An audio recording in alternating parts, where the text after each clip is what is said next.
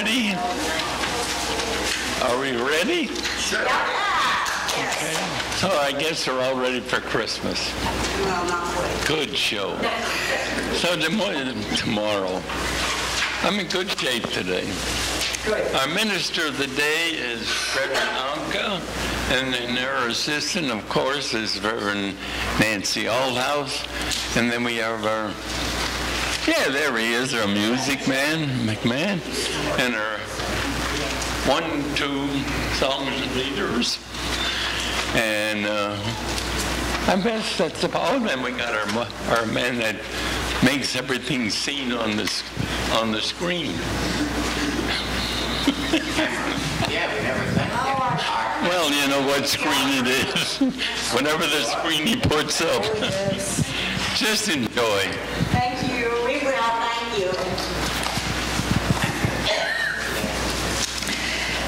Good morning, everybody.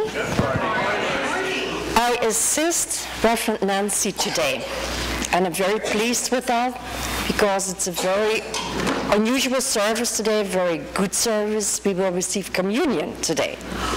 So for me, this is a very good learning experience. Like my teacher, she always wants to teach me. She's great. Well, welcome actually to the first Sunday after the Mayan time. We survived! Yay! so we welcome this first Sunday in the newborn time. How exciting! Yes. Let's keep our ears and eyes open for the divine guidance of God. Yes. We will sing the song, songbook number 89, Sweet, Sweet Spirit. Songbook 89.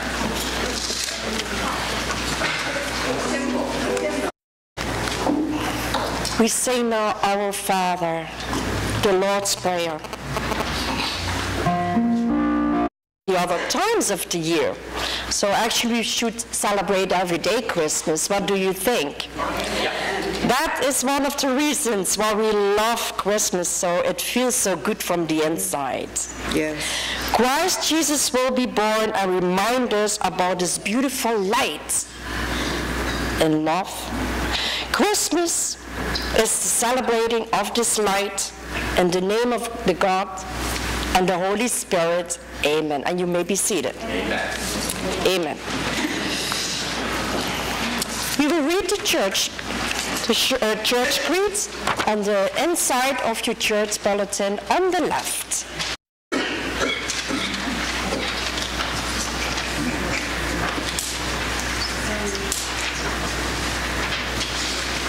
So we have our uh, inside in the bulletin about the fourth Advent, what is about love.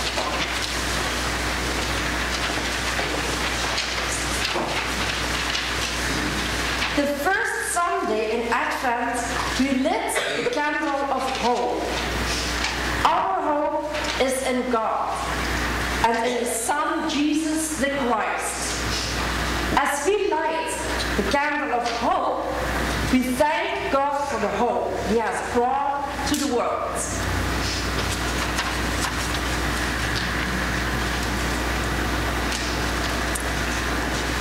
The second Sunday of Advent, we lit the candle of peace. As we relight the candle of peace, we are reminded that Jesus the Christ is the Prince of Peace. And we thank God for the inner peace He gives us when we have faith in Him.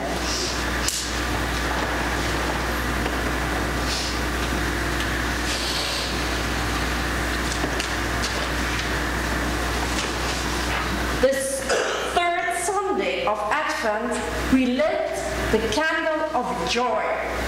As we relight the candle of joy, let's remember that when God is born in our hearts, we receive the gift of everlasting joy.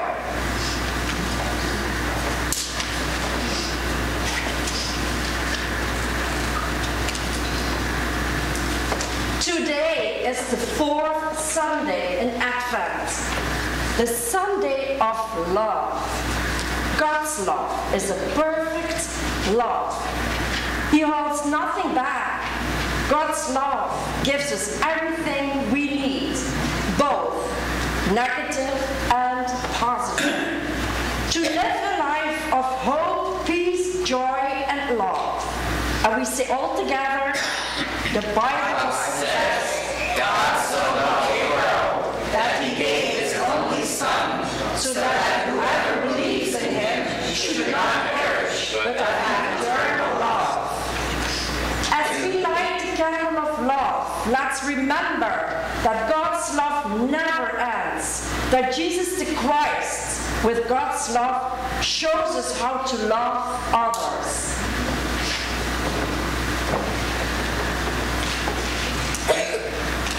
All together, love is like a light shining in the darkest night.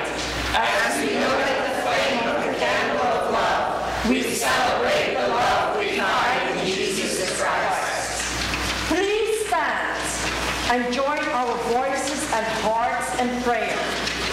God of hope, Peace, joy, and perfect love. We thank you for these precious gifts. Our time of worship is a time to celebrate the gifts you give to each of us. Your gift of perfect love is present in our hearts every moment. Help us to always keep our hearts open to your love and to share your gifts with our sisters and brothers, hoping to make this world a better place to live. We ask this in the name of the one born in Bethlehem. Amen. May be seated.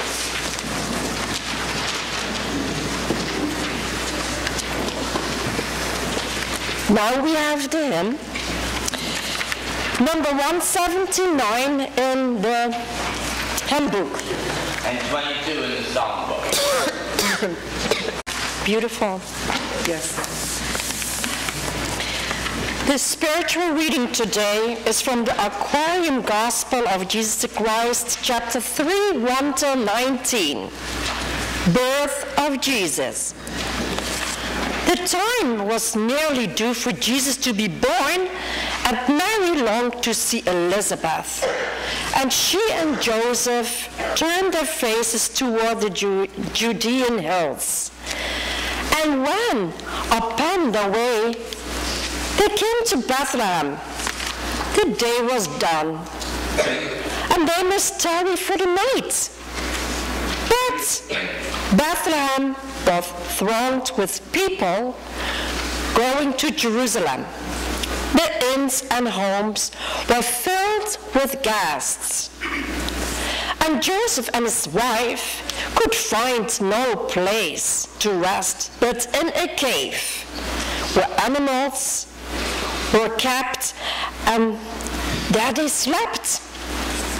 At midnight came a cry. A child was born in yonder cave among the beasts, and lo, the promised Son of Man was born. And strangers took the little one and wrapped him in the dainty robes that Mary had prepared and laid him in a throne from which the beasts of burden fed. Three persons clad in snow white robes came in and stood before the child and said, All strength, all wisdom, and all love be yours, Emmanuel. Now, on the hills of Bethlehem were many flocks of sheep with shepherds guarding them. The shepherds were devout, were men of prayer, and they were waiting for a strong deliverer to come. And when the child of promise came, a man in snow white robe appeared to them, and they fell back in fear. The man stood forth and said, Fear not.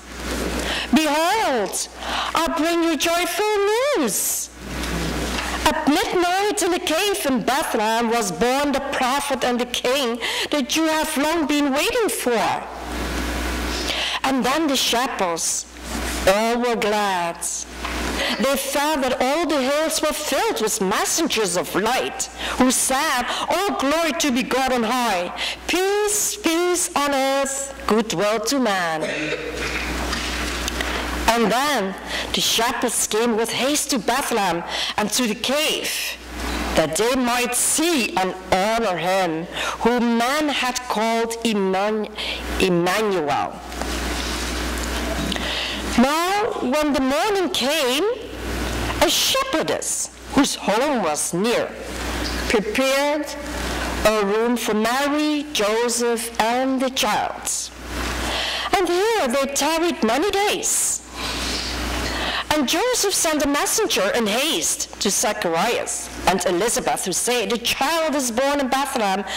And Zacharias and Elizabeth took John and came to Bethlehem with words of cheer. And Mary and Elizabeth recounted all the wondrous things that had transpired. The people joined with them in praising God. According to the custom of the Jews, the child was circumcised. And when they asked, What will you call the child? The mother said, His name is Jesus, as the man of God declared. And now I would like to introduce you Reverend Nancy for her sermon about the manger. Thank you so much. Thank you. It's almost here, so I want to wish you another one. Merry Christmas. Merry, Merry Christmas. Yes. In the gospel that was just read, I'm going to let you answer it yourselves. Who do you think the three men in white were? The Not yet. It's going to be your answer. And who do you think came to the shepherds? Now we know they were flying up in the air. Do you know, we always heard myths about the manger. You know, they said the animals talked on Christmas Eve. Is it true? I don't know. I wasn't there. Form your own answer. No, it. They actually talked. That's what I heard. True or not, it has to be your decision. A little mystery here. God, give us the eyes to see what you see. The mouth to speak your word, not ours, your word.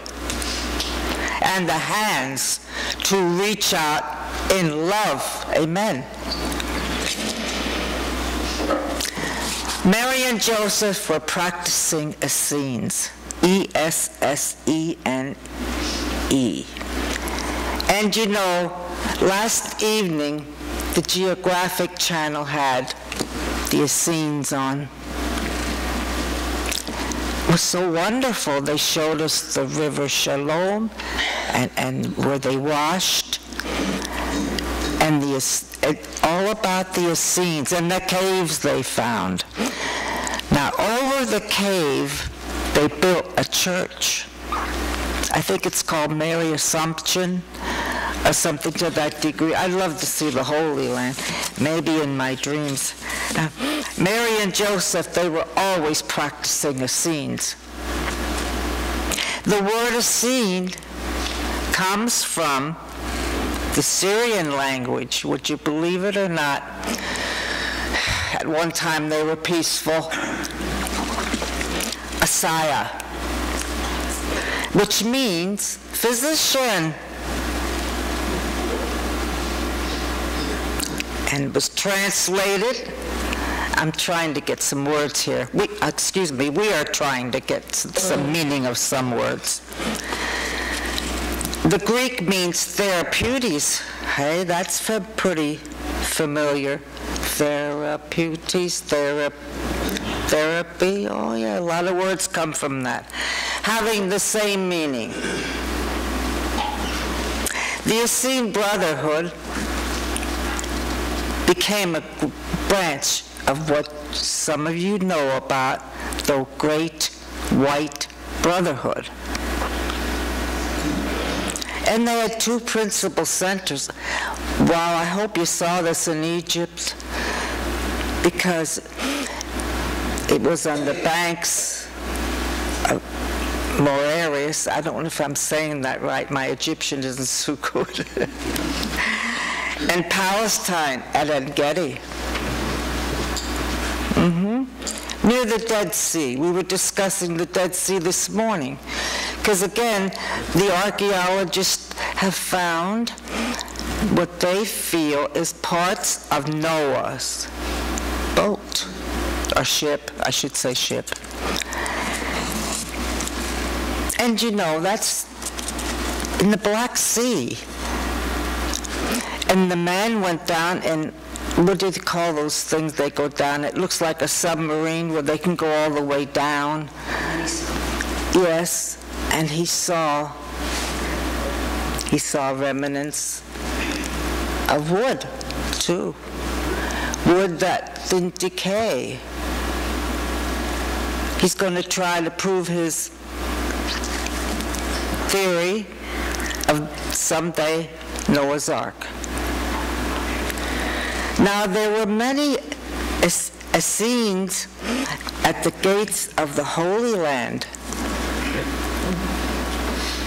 They were at the gates because the people did not have any place to go when they were sick. But they went to the Essenes, the Therapeutes, which breaks down to some more words that we know here today. And they had a special gate. It was called the Essene Gate. And they worked in caves. We heard that word this morning. Helping mothers in labor. And they were known as, this, this, this is really great, hospitalitors. Hey, that's a familiar word, which comes to other words. Hospice, which we know about, taking care of the people who are ready to pass on. And hospitals, how about that? Now the animals, they were usually kept in a special place because, you know, let's face it, they didn't have buses. They didn't have trains. No, no, they had to use their own two feet or a horse or camel. They had to take care of those animals so they were protected from the winds and from the rain. The Essenes record, and they found this. Remember, we heard about they found the lost scrolls, a curium. Mm-hmm. Well preserved in goat skin scrolls. And the Essenes recorded that Jesus was born in an Essene grotto. Now, grotto's a pretty familiar word to us, right? We know about grottos. We've heard them. And the Essenes had rescue houses there and hospices in a part of Palestine.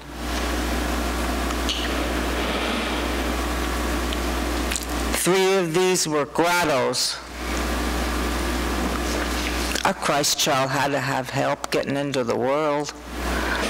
A 15-year-old girl by herself, she had to have help.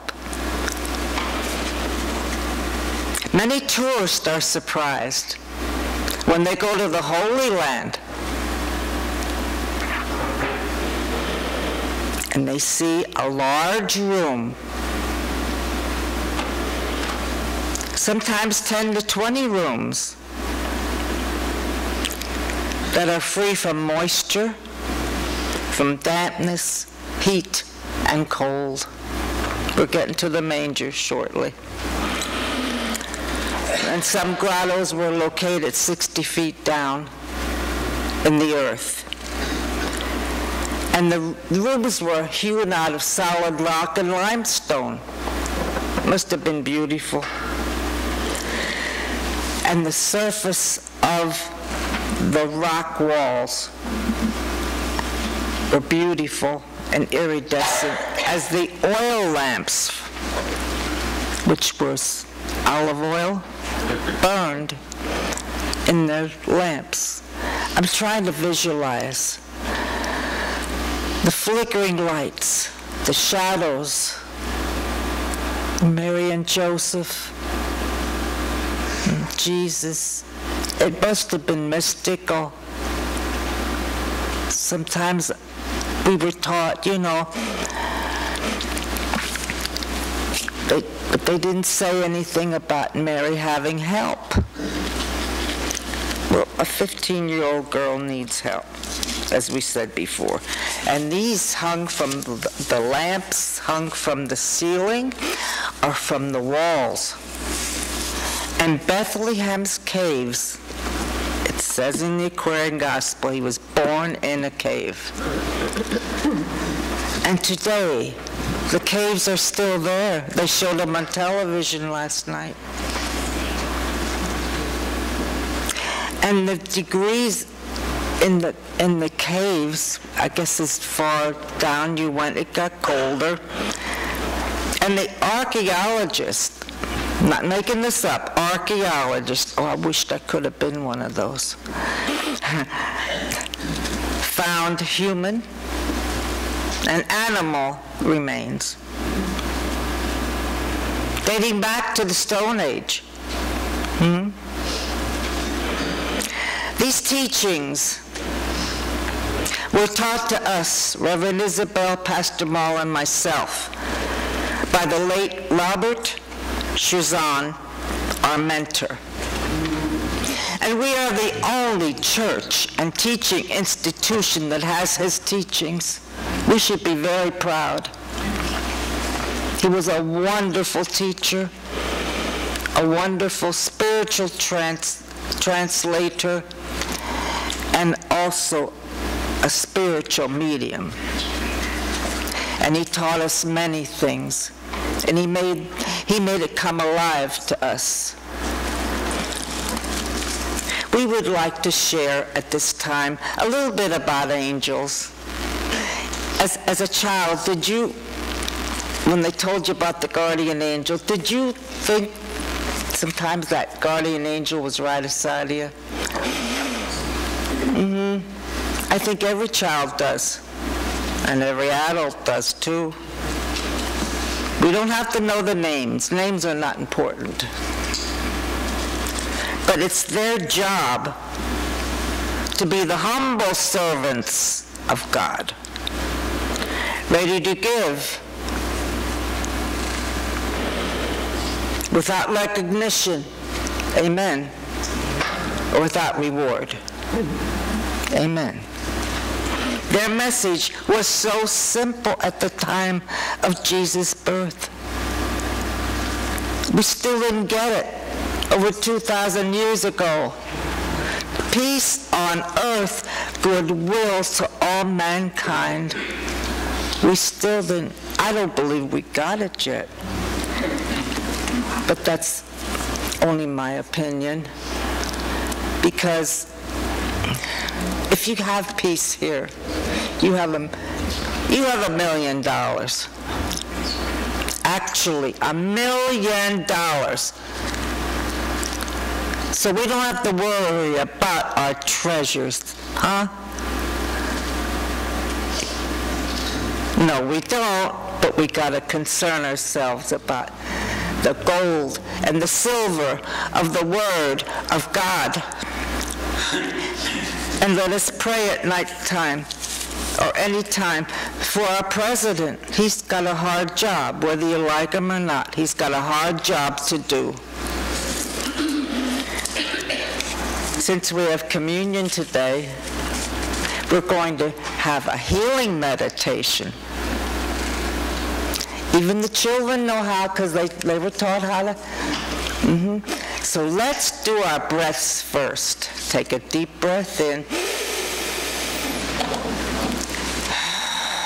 Blow it out through your mouth. Take a deep breath. Cleansing breath. I'm trying. Let's try to get the, the ray of Mary, iridescent blue.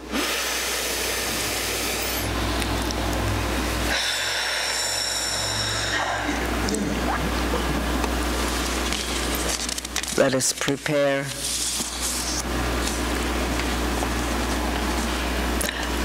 We are in a manger room, dimly lit, with the flickering oil lamps. Smell the hay.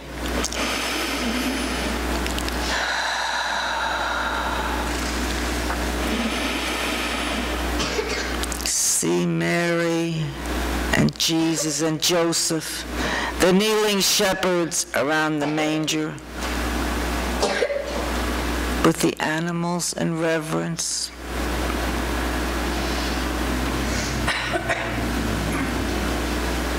The cave is filled with the holy, holy light.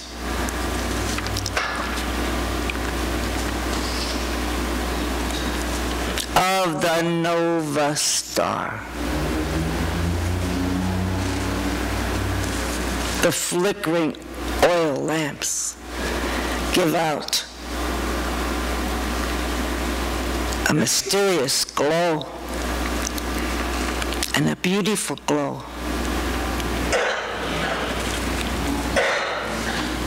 Bringing these lights down to your head chakra.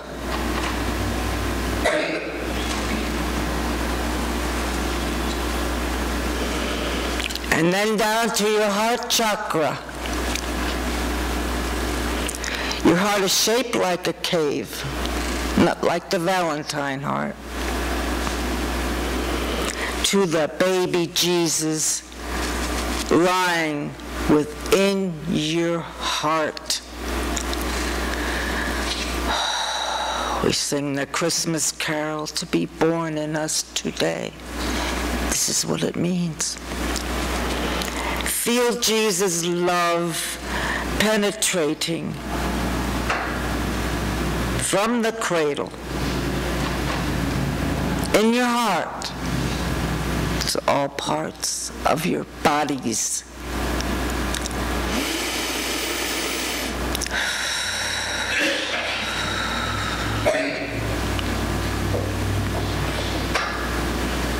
Bring the Christ light up again to your heart chakra. Cradling the baby Jesus. Feel his love and his eyes penetrating yours. What beautiful eyes, penetrating ours. His hands reaching out to you.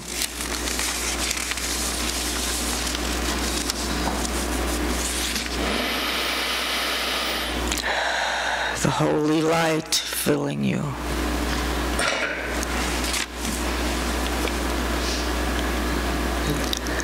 From your heart, send this holy light and this Trinity to all mankind.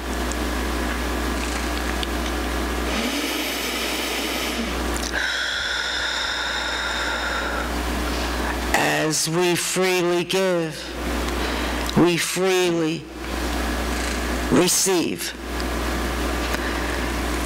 And send the light in your heart with healing and with love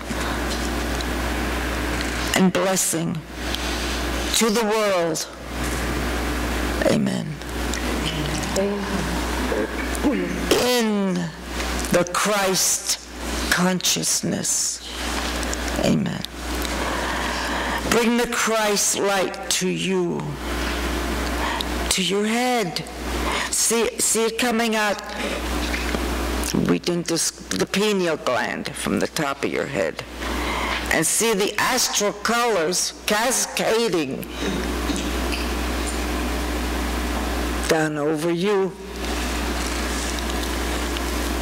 as a fountain.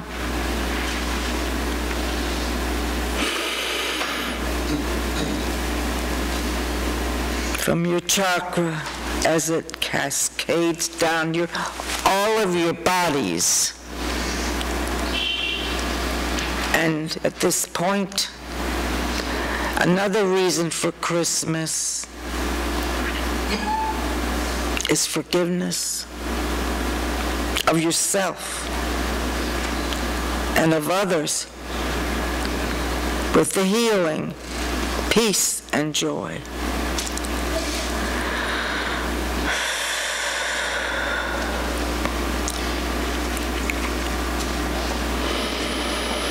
It's so beautiful, those astral colors coming down from the top of your head in that beautiful, beautiful fountain.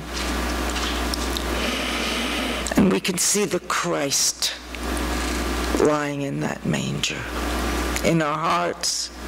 For the kingdom of God is within us. Come back slowly, feeling refreshed and vibrant in the Christ light and consciousness. Tomorrow night, Reverend Jack will be doing, and Isab- Reverend Isabel and Pastor Maul will be doing the service. And remember something. The Christ light is closest to the earth plane at that time. There have been many miracles and healings and transformations of life.